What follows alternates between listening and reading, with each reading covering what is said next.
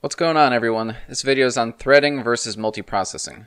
I get a lot of questions on these and people are always wondering what the difference is and when you should use one over the other, so let's just sort all that out right now. So both the threading and multiprocessing module in Python, they both aim to do kind of the same thing, and that's to do a number of things at the same time. However, the way the threading module goes about it and the way the multiprocessing module goes about it is very different. So here I've written five high-level points for the threading module and five high-level points for the multiprocessing module. And all the points relate to one another. So the first point on threading relates to the first point on multiprocessing. So the first point on the threading side is that a new thread is spawned within the existing process, whereas on the multiprocessing side, a new process is started, independent from the first process. This is an important distinction on the multiprocessing side because it's like you have two Python programs running at the exact same time. The second point is that starting a thread is going to be faster than starting a process. Starting a process is going to be slower than starting a thread. And there's going to be more memory involved when you start a process versus starting a thread. So the third point is memory. On the threading side, memory is going to be shared by every single thread that gets created in that process. On the multiprocessing side, memory is not shared between the processes. However, when you start a new process with multiprocessing, you do get access to a copy of the data from the parent. Now note that I said you get access to a copy, not you get a copy. On the threading side, you're going to have to use mutexes to synchronize your access to data.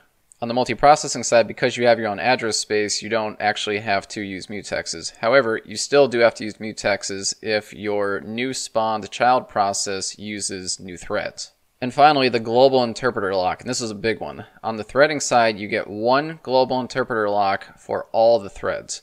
On the multiprocessing side, you get one global interpreter lock for each process. For those that don't know what the global interpreter lock is, it's basically a mechanism in Python that ensures that there's never more than one thread of execution for the Python interpreter at any given moment.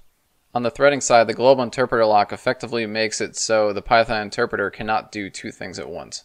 On the multiprocessing side, the global interpreter lock is one for every process, therefore you can truly do things in parallel because you have multiple processes. We're going to look at a practical example of the global interpreter lock in action here in a second. Now I've written two pieces of code here. The left one uses threads and the right one uses processes. If you look, they're basically identical with the exception of on threads, I do from threading import thread, and on processes, I do from multiprocessing import process.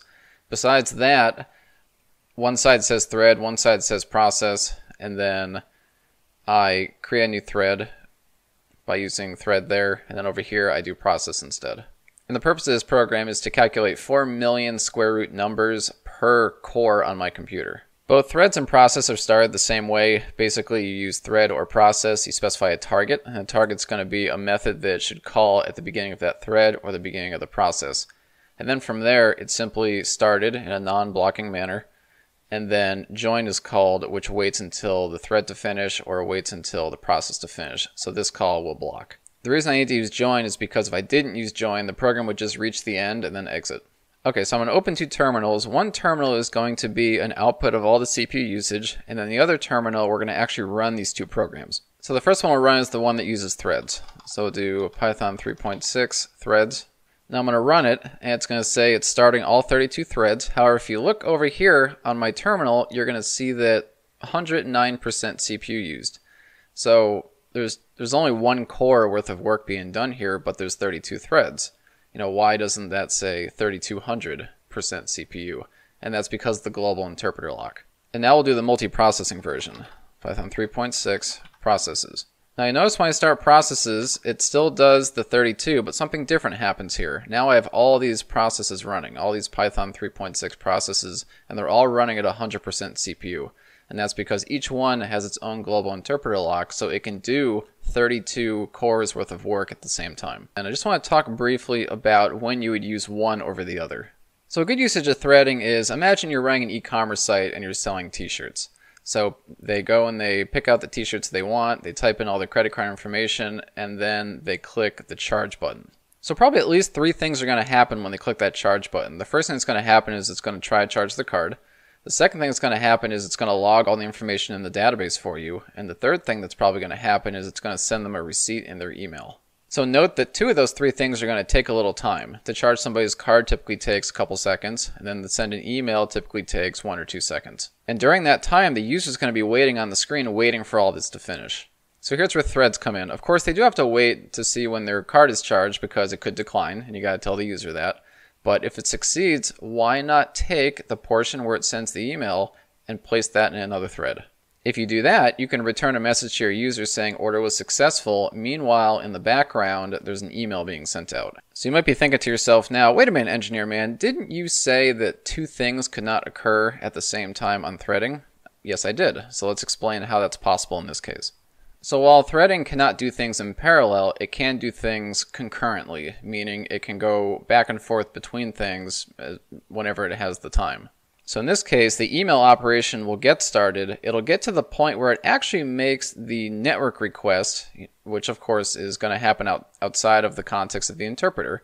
And then when it does that, the global interpreter lock is released for that operation, and then it's allowed to go back to telling the user order successful. Once the email is sent successfully, then the global interpreter lock is reacquired by that thread, and then the rest of the operation finishes. So on the multiprocessing side, a good use for that would be if imagine you have to do some mathematical operations on say 2 million records of data. What you could do is you could divide all that data up for each core and then process it independently. And by independently, I mean if you have 32 cores, you could do 1 32nd of the work per process. And then you can just use process.join to wait for all the results, and then you can aggregate up the results, and it should speed up what you're doing by a factor of 32. And that's threading versus multiprocessing. I hope that cleared up all the confusion, and I hope you learned something today. See you next video.